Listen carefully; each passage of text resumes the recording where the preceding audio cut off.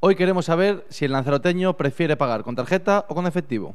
Normalmente me gusta llevar efectivo. Lo que pasa es que depende de las cantidades que pagas, a veces te obligan a sacar la tarjeta porque son facturas o albaranes de, de cierto importe y entonces necesitas usar la tarjeta, pero si yo pudiera emplearía siempre metálico para que este gobierno ni los próximos controlen el movimiento de dinero de nadie. La tarjeta es más común, ¿Sí?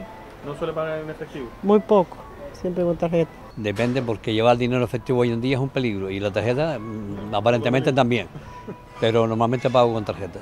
Siempre con tarjeta. ¿Más cómodo? Sí. Tarjeta es lo más cómodo que hay.